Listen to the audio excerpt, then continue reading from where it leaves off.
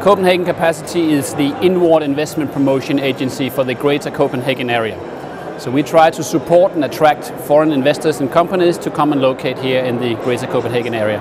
We have a special focus on China. We would like to see many more investments coming to Denmark from China.